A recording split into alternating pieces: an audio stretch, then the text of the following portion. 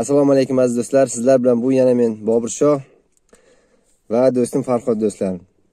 Taniydiganlar taniydi tanimaydiganlar taniydi. Bizni e, главный operator do'stlar hamma ishni mana shu do'stim qiladi ekran ortida turadi faqat. Bugun e, mashinani ichida bo'lganimiz sababli e, ekranga chiqyapti do'stlar. Aziz do'stlar e, rozgirish haqida ma'lumot berib o'tmoqchimiz. E, Rozgirishimiz rozgrishimiz вообще zo'r ketyapti. E, ko'p ketib ozi qoldi biletlarimizni bir harakat qilaylik. Yana bir do'stlar yaqin o'rtalarda xudo xohlasa bir o'n kun o'n besh kunni ichida o'ylaymanki o'tkazib yuboramiz. Yana bir narsani aytib o'tmoqchiman do'stlar yaqin kunlarda mana shu haftani ichiga desa ham bo'ladi mana shu skuterlarni olib kelgani boramiz do'stlar. Hamma video obzorlarini chiqaramiz keyin do'stlar xudo xohlasa va yana bir yangilik e, mana shu e, eng ko'p bilet olgan e, odamga ham bitta sovrin berishga qaror qildik. Ya'ni bitta yana eng ko'p bilet olganga bitta yigirma oltilik velosipedni va'da qilamiz do'stlar.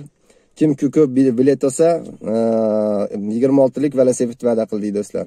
Uchta velosipeddan tashqari. Uchta velosipeddan tashqari do'stlar. Bu nima desam tashqari yana prizda kimki ko'p bilet olgan bo'lsa hozirda bizda o'nta bilet olgan eng ko'p bilet olgan odam e, shundan ko'p bilet oladigan bo'lsa e, o'sha prizimizni beramiz do'stlar.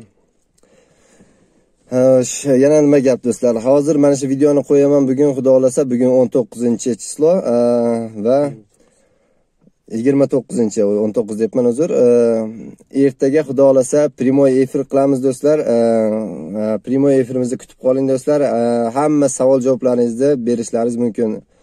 Nimalar haqida mana shu qabriston haqida maktab haqida nima haqida kimda savol bo'lsa bemalol mana shu premo efirga chiqamiz e, yozib turib savollaringizga javob olishingiz mumkin do'stlar. Bugungi gaplar shundan iborat do'stlar. Gapirasizmi hammaga omad tezroq harakat qilingizlar. Biletlar soni borgan sayin qisqarib bormoqda.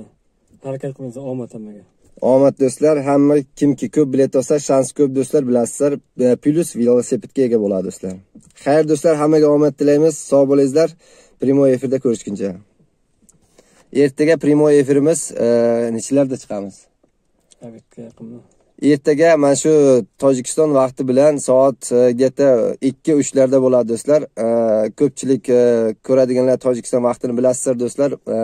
Har joy bilan har xil farq qiladi.